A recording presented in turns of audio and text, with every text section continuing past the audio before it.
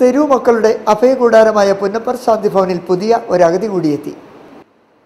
ആലപ്പുഴ ആര്യാട് കൃഷ്ണപിള്ള ജംഗ്ഷനിൽ അലഞ്ഞു നടന്ന മാനസിക വിഭ്രാന്തി പടർന്ന യുവാവിനെയാണ് പ്രദേശവാസികൾ അറിയിച്ചതിനെ തുടർന്ന് Alappuzha north police A S I ഉദയന്റെ നേതൃത്വത്തിൽ പോലീസ് സംഘമെത്തി ശാന്തി ഭവനിൽ കൊണ്ടുവന്നത്.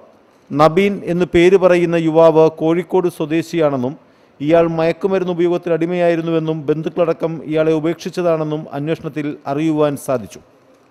ഇത്തരത്തിൽ മനോനില തെറ്റി തെരുവിലലയുന്നവരുടെ അഭയ കൂടാരമാണ് പുന്നപ്രയിൽ ബ്രദർ മാത്യു ആൽബിന്റെ നേതൃത്വത്തിൽ പ്രവർത്തിക്കുന്ന ശാന്തിഭവൻ നൂറ്റി അറുപതിന് മുകളിൽ മക്കളാണ് ബ്രദർ മാത്യു ആൽബിന്റെ സംരക്ഷണയിൽ ശാന്തിഭവനിൽ കഴിയുന്നത്. അഗതികളുടെ എണ്ണം ദിനം പ്രതി വർദ്ധിക്കുന്ന സാഹചര്യത്തിൽ സുമനസ്സുകളുടെ പ്രാർത്ഥനയും സഹായവും ഉണ്ടാകണമെന്ന് managing trustee brother Mathew Albin അഭ്യർത്ഥിച്ചു. എന്റെ പേര് നജീബാണ്. വീട് മലപ്പുറമാണ്.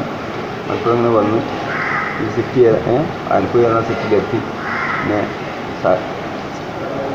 ഓർമ്മ ശക്തി പോയി എവിടുക്ക പോകേണ്ടതെന്ന് അറിയില്ല. അങ്ങനെ പിന്നെ പോലീസുകാർ കൊടുന്ന് അങ്ങനെ ഓർമ്മ ശക്തി പറഞ്ഞപ്പോൾ ഇവിടെ ആക്കി.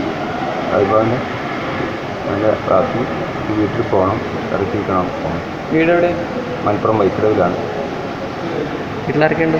ഉമ്മയും പെങ്ങളും അനിയനും.